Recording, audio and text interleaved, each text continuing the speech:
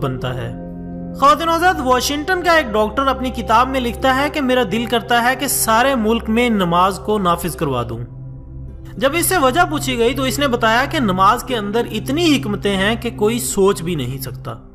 وہ نماز کے فائدے بیان کرتے ہوئے کہتا ہے کہ اگر انسان کے جسم کو مادی نظر سے دیکھا جائے، تو انسان کا دل پمپ کی مانند ہے جو پورے جسم کو خون سپلائی کرتا ہے۔ اس نے کہا کہ جب انسان بیٹھا ہوتا ہے یا کھڑا ہوتا ہے تو جسم کے جو حصے نیچے ہوتے ہیں، ان میں خون کا پریشر نسبتاً زیادہ ہوتا ہے، اور جو حصے اوپر ہوتے ہیں، ان میں پریشر نسبتاً کم ہوتا ہے۔ مثلا تین منزلہ عمارت اور نیچے پمپ لگا ہو تو نیچے پانی زیادہ ہوگا، اور دوسری منزل پر بھی کچھ پانی پہنچ جائے گا۔ جبکہ تیسری منزل پر تو بہت ہی کم پانی پہنچے گا۔ حالانکہ پمپ وہی ہے، لیکن نیچے پانی پورا دے رہا ہے، اور اوپر والی منزل میں بہت کم۔ اس مثال کو اگر سامنے رکھتے ہوئے سوچیں تو انسان کا دل بھی خون کو پمپ کرتا ہے اور یہ خون نیچے والے اعضاء میں بالکل پورا پہنچ رہا ہوتا ہے، لیکن اوپر کے اعضاء میں اتنا نہیں پہنچ پاتا۔ جب کوئی ایسی صورت آتی ہے جس میں انسان کا سر نیچے اور دل اوپر ہو تو خون سر کے اندر بھی اچھی طرح پہنچ جاتا ہے۔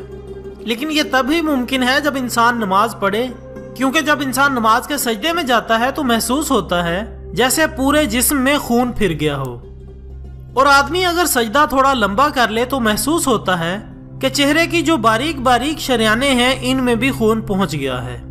یہ ڈاکٹر مزید لکھتا ہے کہ عام طور پر انسان بیٹھا، لیٹا یا کھڑا ہوتا ہے۔ بیٹھنے، کھڑے ہونے اور لیٹنے سے انسان کا دل نیچے ہوتا ہے جبکہ سر اوپر ہوتا ہے۔ ایک ہی صورت ایسی ہوتی ہے کہ نماز میں جب انسان سجدے میں جاتا ہے تو اس کا دل اوپر ہوتا ہے اور سر نیچے ہوتا ہے۔ لہذا خون اچھی طرح چہرے کی جلد میں بھی پہنچ جاتا ہے۔ خواتین حضرات، نبی اکرم حضرت محمد صلی اللہ علیہ وآلہ وسلم کا ارشاد ہے کہ نماز نور ہے۔ اللہ تعالی ہم سب کو نماز کی پابندی کرنے کی توفیق عطا فرمائے۔ آپ سے گزارش ہے کہ ویڈیو کو زیادہ سے زیادہ شیئر کریں تاکہ آپ کی وجہ سے کسی کے بھی دل میں نماز کی محبت پیدا ہو جائے۔ ویڈیو پسند آنے کی صورت میں ویڈیو کو لائک اور شیئر ضرور کریں۔ اس کے ساتھ ہی آج کی ویڈیو کا اختتام ہوتا ہے۔